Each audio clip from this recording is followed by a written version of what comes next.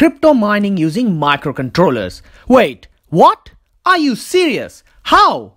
Believe it or not, the rig you see on screen actually mines a cryptocurrency called Duino coin or Duco. The total cost of this rig is only $35. Now, if you believe me, then grab yourself a cup of coffee, sit back and watch this video and start your journey into cryptocurrency with Duino coin.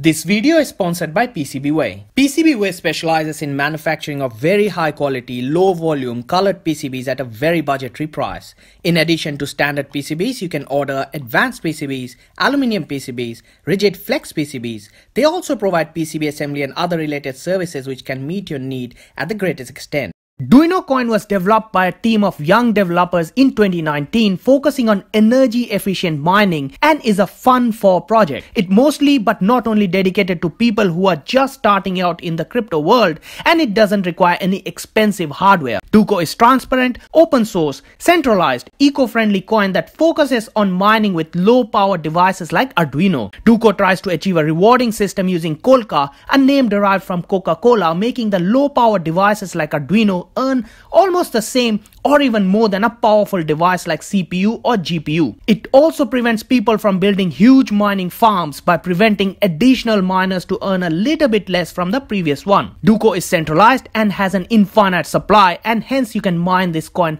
forever. You can mine Duco using Android smartphone, computer CPU, Arduino, Raspberry Pi, Orange Pi or Banana Pi, ESP8266 or ESP32, internet browser on your PC or smart TV, Arduino using ESP8266 as a host, Arduino using Raspberry Pi as a host. To start your journey, have a look at the Getting Started with Duco Coins webpage, then create a wallet to store your coins. Next, download the miner binaries for the device you are going to mine the coin. If you're super tech savvy, then have a look at the coins white papers. The link is in the description below. In my setup, I'm mining Duco using Node MCU. The setup is very simple. In my setup, I've added an extra LED to give my board a bit of sci-fi look. Mining with ESP boards allows you to mine headlessly. You don't need to have them connected to a computer as as they have their own Wi-Fi capabilities to connect to the server. Now let's have a look at the board. You can hook up 5 node MCUs to this board. Each node MCU has its own flashing LED. The board can be powered using just 5 volts using a USB cable.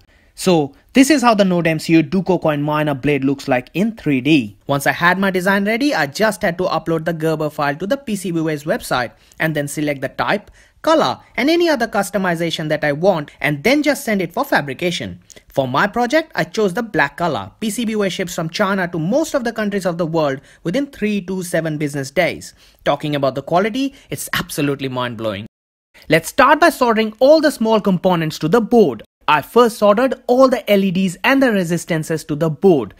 Since I care a lot about my sensors and microcontrollers, I am not going to solder them directly to the board. Instead, I'm soldering female pin headers to the board which will house the node MCUs in them. Finally, I soldered a USB cable to power this blade. I extracted this cable from a broken iPhone's charger. I downloaded the code from the Duino Coins website. The current version is 3.0. I downloaded the Windows version and then added my code block to make the blue LED flash on my blade. In the code, you just need to edit few lines in the top section to add your Wi-Fi details and the name of the node MCU. If you are using ESP8266 board, you can set the clock speed to 160 MHz to achieve a better hash rate. Then just go ahead and upload the code one by one to all your node MCUs.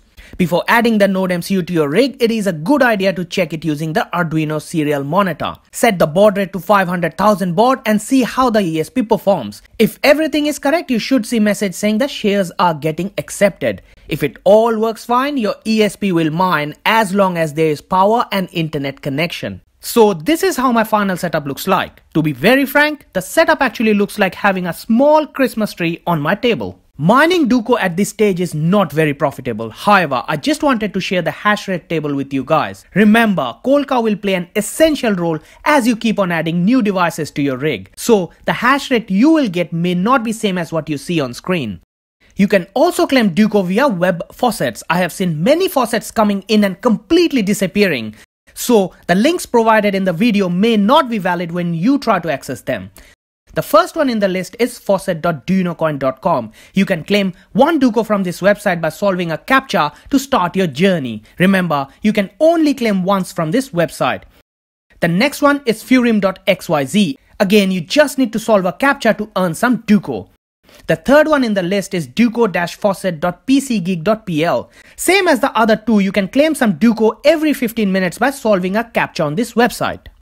After mining some Duino coin, you may want to exchange them to some other currency. To exchange your coin, simply visit the website and select the currency you want to exchange. At the moment of writing this tutorial, Duco Exchange supports XMG, BCH, TRX, BYND and Litecoin.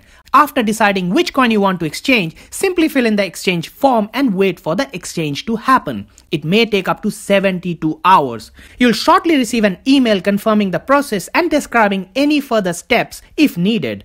Other exchanges supporting Duino Coin are Node-S, PancakeSwap, SunSwap, and SushiSwap.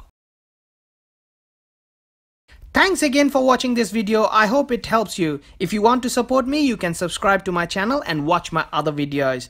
Thanks. See you again in my next video. Bye now.